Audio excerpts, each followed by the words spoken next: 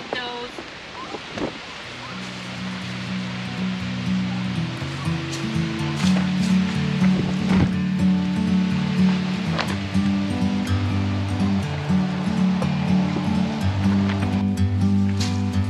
like a bird on a tree. I'm just sitting here. I got time. It's clear to see Oh, I think you've got enough here. Okay. from Yeah. up here. The world seems small. We can sit together. It's so beautiful, you and me. We meant to be in the great outdoors, forever free.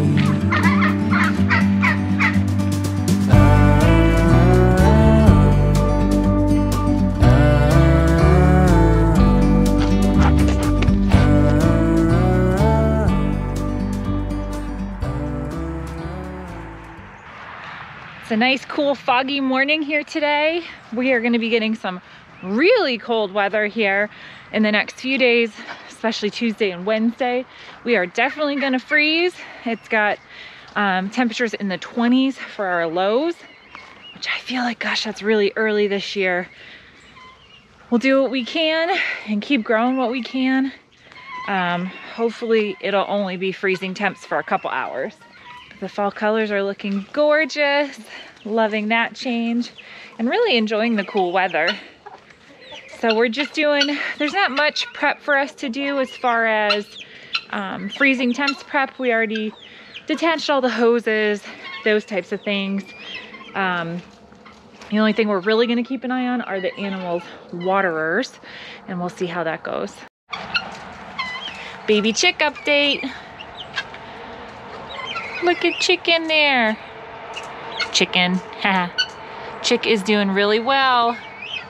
We are hoping it's a hen.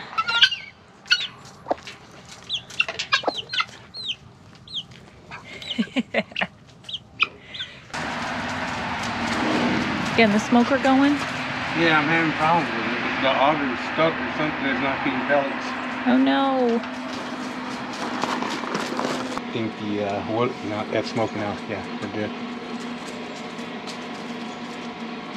Yeah, the auger got stuck because I guess, you know, moving around, shaking around, it got packed all the wood pellets in there.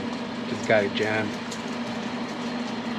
Had to pull them all out and free it up. Beautiful morning. We're breathing a little bit of smoke out here.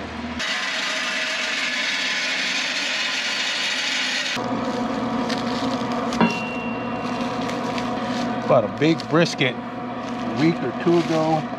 Just and we cut it up into pieces so that we can smoke.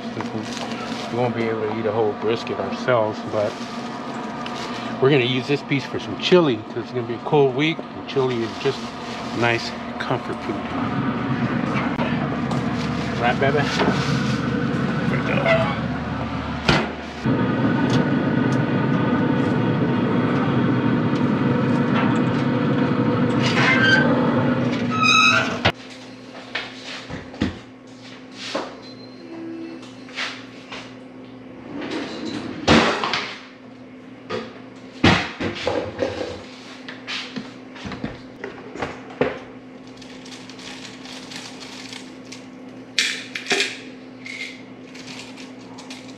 Smell so spicy.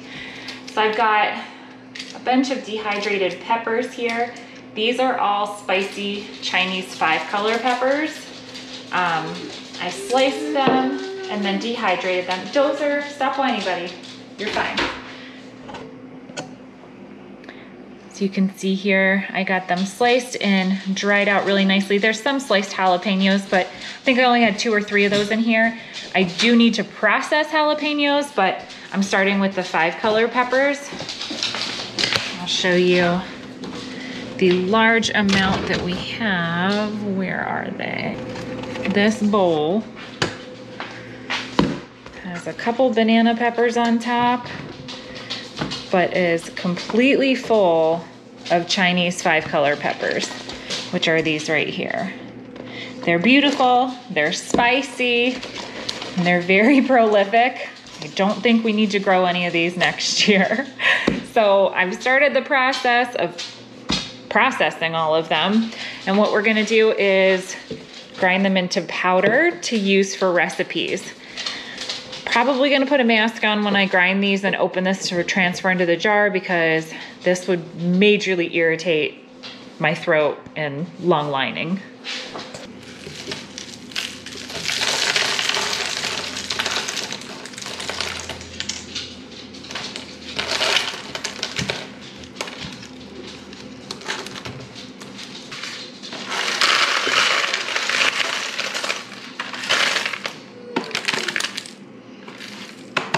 This is messy.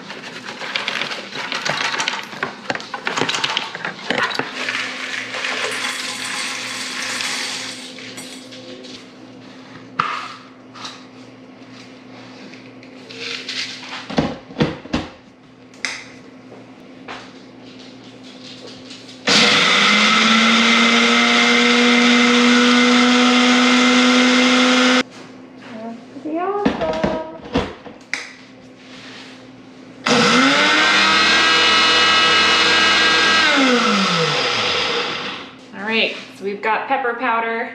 I'm gonna let that settle for a minute, jar it up, and then I'm gonna start the process of dehydrating more. I also have been fermenting peppers, which I um, will probably do more fermented peppers as well. Um, but this is a really good way, and you can see it makes it nice and compact. Nothing's going to waste. We're able to use this then in recipes for chilies, marinades, anything that you wanna spice up a little bit. And this will last a really long time. Go back to your friends. Oh, he escaped, huh? What are you doing? Escaped artist. Look what I got here. We have an escape Seed artist. radishes. Gosh, they're huge. That needs to get washed so that we can put color in it.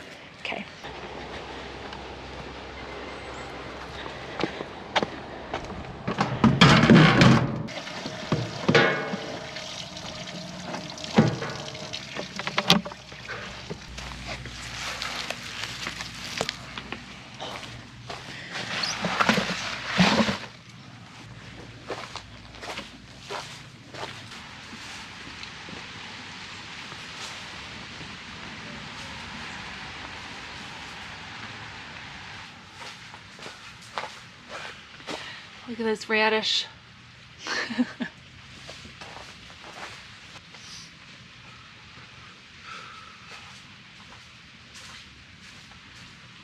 my gosh, look at this one.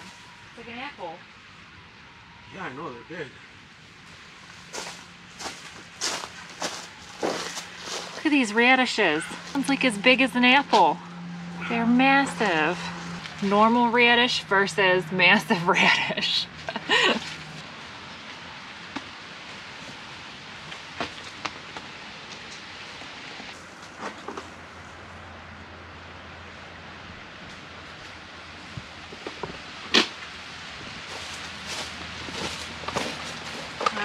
Got a bucket full of radishes.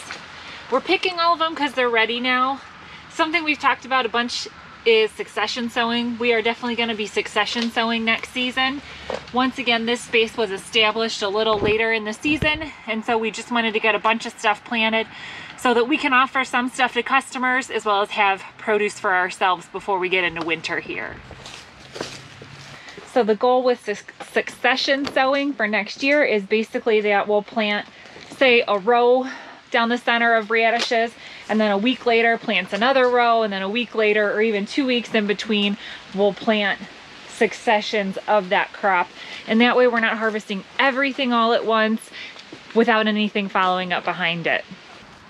A whole bucket of just, this is just the ragged jack. And then I'll put, I'm gonna go Austinado next on top. Got some good looking beets coming in. There's a golden beet over there.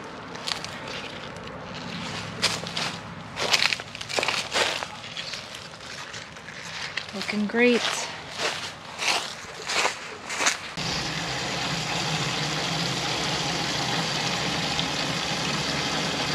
washing these vegetables brings us to something that we're trying to currently figure out. Wow, that's heavy. Is washing, a washing station for produce, especially when we're talking about next year, production for next year, as well as like safe handling. So things you just don't think about is the fact that we use this sink for garden stuff. We use this sink for animal stuff, so cleaning animal dishes. Um, processing day, you know, we rinse buckets in here, blood buckets and things like that. All of that we have to consider when we're washing produce here. So sanitizing, even as far as making sure, you know, our hands are washed and things before we're picking uh, vegetables for customers, all of that is super important um, to remember. So yeah, figuring out the wash station and packing, definitely need some table, something or other going out here, going on out here. We do have that down there, which is like a table that comes off the side of this, but it broke off and it would need to be welded back on. Um, it's steel. So we're gonna see about putting that back up. But yeah, definitely trying to figure out how to best and most efficiently use the wash station so that it flows. Like right now I've got these here in this tub, which is clean, and I need to rinse all the dirt off of them rubber band them and then put them in something else that's clean. So, you know, what does that look like and how do I make that happen? And right now it's just, like I said, figuring it out and trying to to come up with a system for this process. As well as like with the kale. So if we want to rinse the kale in the metal sink here, we're going to need to clean that because like I was just cleaning animal bowls with it. So it's all those types of things that we're trying to get situated and develop systems for. That is a giant radish.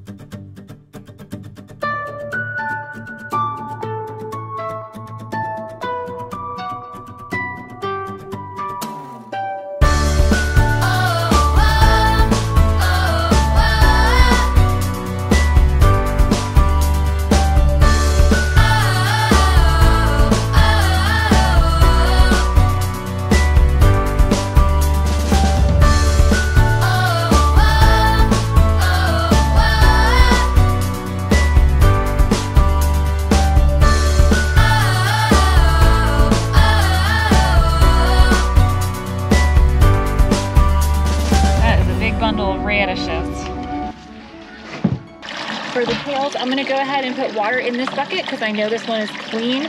Other than the dirt I just rinsed out, which is on the vegetables already. Um, I cleaned and sanitized this bucket before I started using it, so I'm gonna go ahead and dump them in here, wash them off, get them into bunches, and get those ready to go.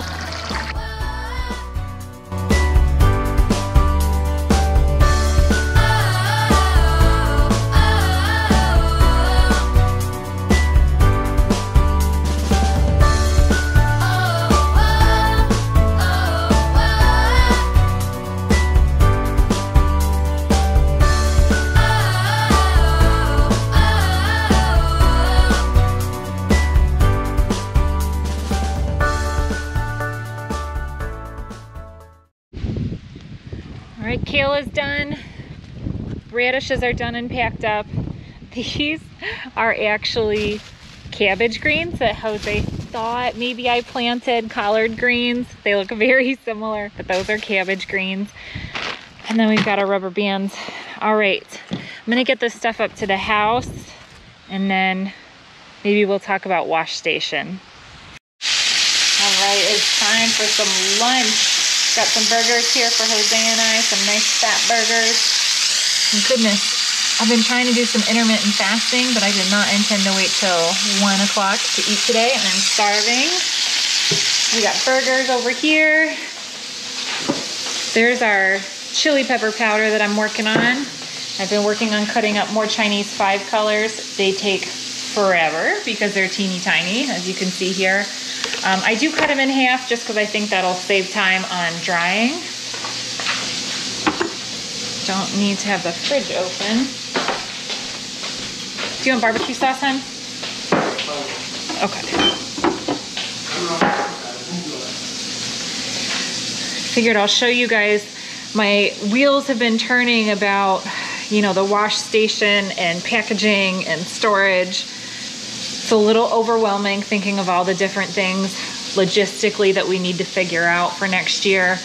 As you can see now we have a bunch of produce in the fridge here, which this is not ideal. We'd like to have separate storage for customer stuff.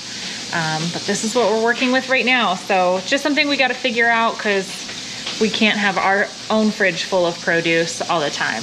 Um, and there's definitely just not enough storage in here for that. Thinking about sourcing a refrigerator or two. Um, I've been looking on Marketplace for something used, which would be preferable. We don't need something fancy. I actually really prefer those older, the older style refrigerators that have a lot more space in them that don't have like the separated freezer here um, on the side. Like side by sides just seem to have less space. So I don't know. So it's all the things that we're just trying to, to figure out right now. And I was gonna grab something else for the burgers, some cheese. And then we've got fresh arugula for our burgers. Tonight, I'm doing some of our pasture-raised chickens. I'm gonna do those in the oven, get the skin nice and crispy. And then one of my favorite cookbooks is Six Seasons. I loved it. It is organized. You can see the different colors there. It's organized by growing season and what kind of produce you would have in that season. A recipe I'm gonna share this week on the website is gonna be these roasted radishes with brown butter chili and honey. Got some of our radishes here. I actually made this last night. I'm gonna make it again tonight. I'm gonna do, like I said, um, a blog post or recipe post on the website and share it with you guys, just the steps and any changes that I made.